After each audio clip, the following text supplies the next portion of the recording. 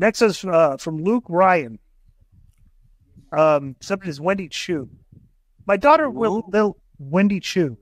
Ooh. I don't. The name sounds familiar. Okay, here we go. My daughter Lily was playing WWE 2K24. She keeps playing as Wendy Choo. For those who don't know, Wendy Choo's gimmick is that she's always falling asleep. I think she got bombed, Konnan. How hysterical is that? I mean, my email is asking exactly how do you book a character like that going forward? I get the comedy on the show is a good thing, but how can a sleeping gimmick really be used to sell tickets? Plus, plus that Xia Li is gone from WWE, and she can't do that evil Ghost Queen gimmick they did all they did, they did together in NXT. Uh, Um, you can't book a character that's always falling asleep. It's ridiculous. There was a story. Who was this guy? Oh my god! There was just um.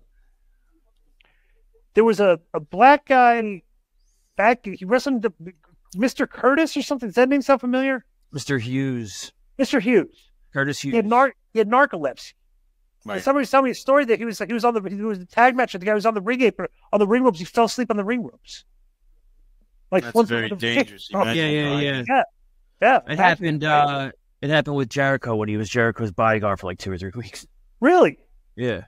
That's interesting. Well, for this Is that girl, okay? Wendy, Wendy Choo, what I would do for gimmick is that she's always sleeping. I would have Hunter come by and put a piece of paper here, and when he leaves, they put a close up, and it says, "When you wake up, you're fired." That would be Sorry.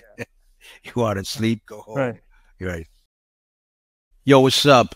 I just want to thank you guys for watching this clip. Don't forget to hit the like button, leave a comment, and subscribe. And join our YouTube membership for hours and hours of exclusive, unedited, uncensored content. And being a member will help you get involved in our upcoming live streams.